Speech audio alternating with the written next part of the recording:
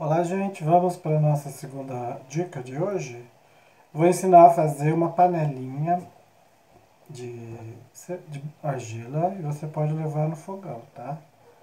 Se você queimar em alta temperatura, você pode usar ela no seu fogão. Numa chama baixa. Primeiro você vai ter que dar uma curtida nela.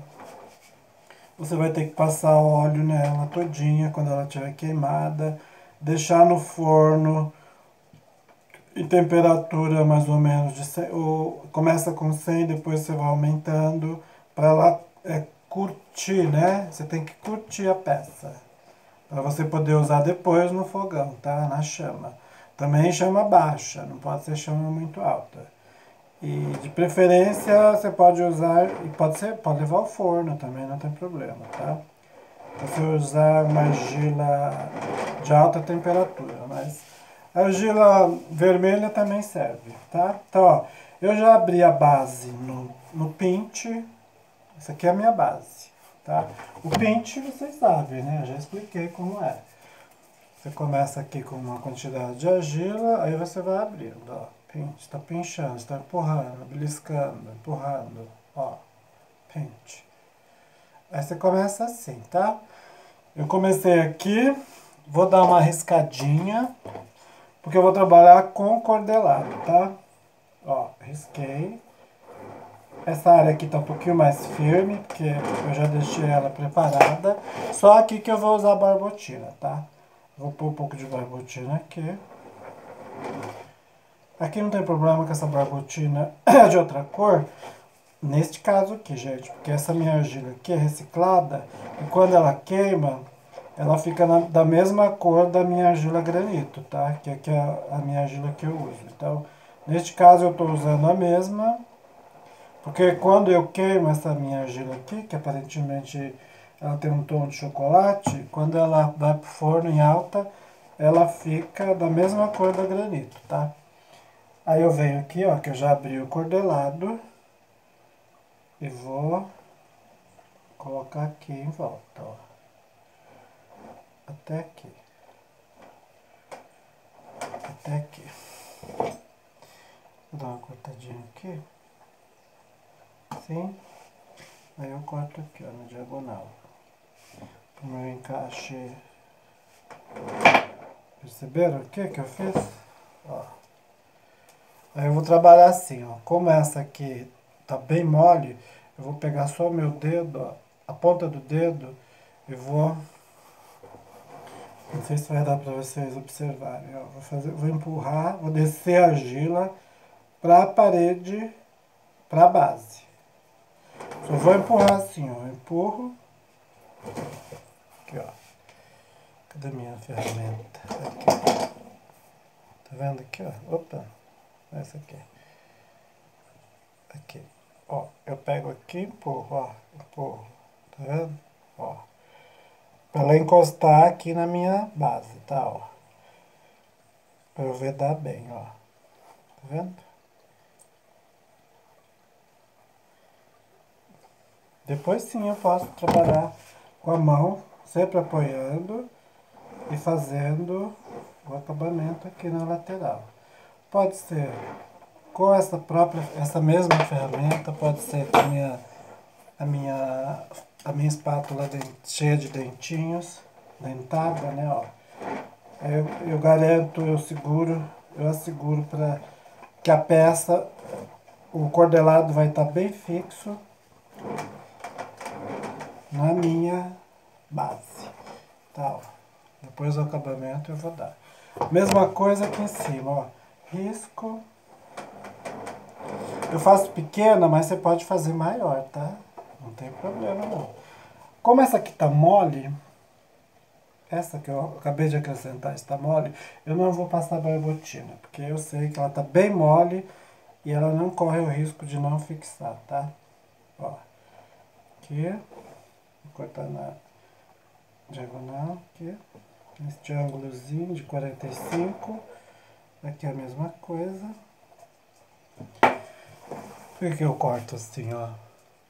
Tá vendo? Para que o meu encaixe aqui, ó, seja esse. Tá ok? Aí eu risco aqui, ó. Aqui eu risco. eu risco, passo. Não precisa, mas eu faço isso. E aqui dentro, a mesma coisa, ó. Eu venho com o dedo, que ela tá bem mole, mas você pode usar a tua ferramenta, tá? Não tem problema. Cada um trabalha com a ferramenta que tem. Quem não tem ferramenta, trabalha com os dedos, tá? Porque os índios não têm tanta ferramenta assim, nem por isso eles deixam de criar essas peças, tá? Isso aqui é uma peça bem rústica, indígena.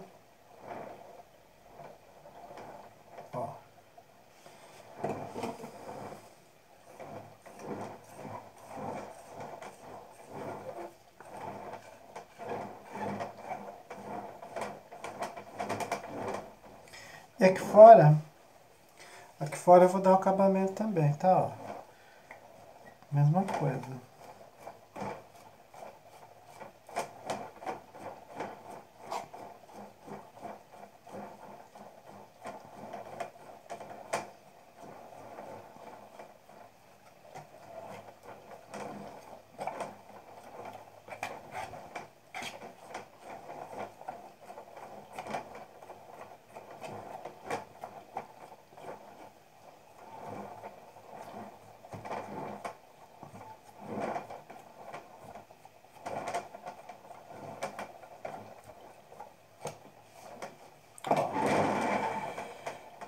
Ter isso aqui, tá?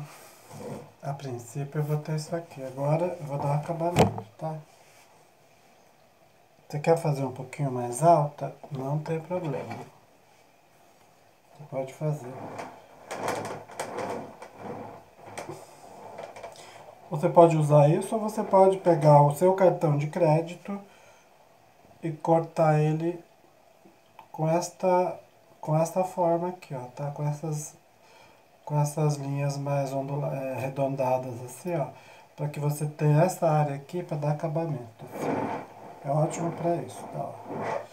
Tanto para torno como para manual.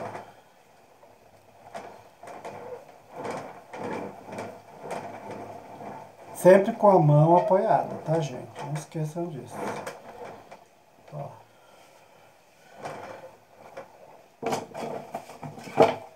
Para área externa eu gosto de usar essa. De metal. Só que eu vou ter que levantar um pouquinho isso aqui, que eu estou encontrando uma, uma certa dificuldade para dar acabamento. Só um minutinho. Deixa eu pegar aqui uma... Pronto.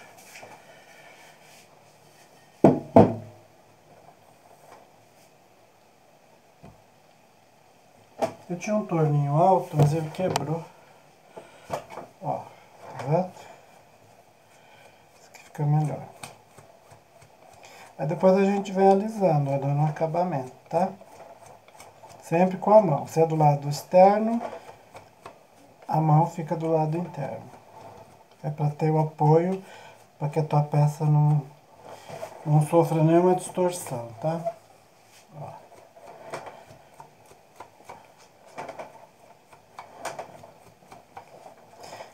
E aí a gente vai dando acabamento aqui, ó. Para não aparecer essas emendas aqui do cordelado, tá?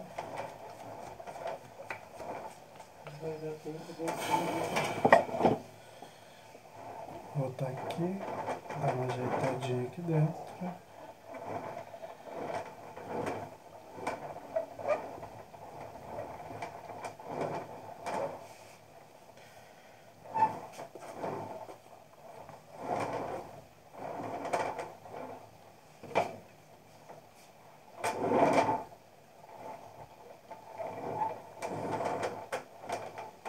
Pegar aqui meu, meu bisturizinho.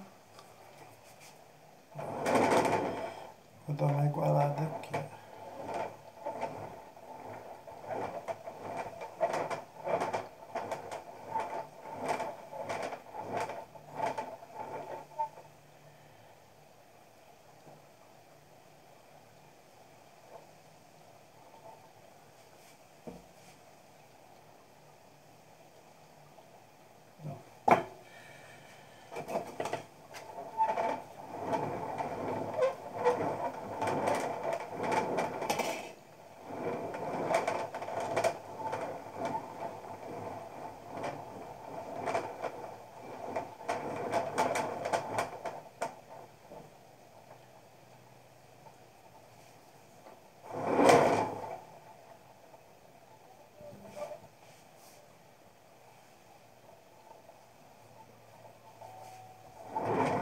Eu gosto de trabalhar com cordelado, acho bem interessante. Agora na sequência eu vou fazer a tampa só pra gente, só pra vocês é, entenderem como é que ela vai ficar, tá? Já volto, peraí.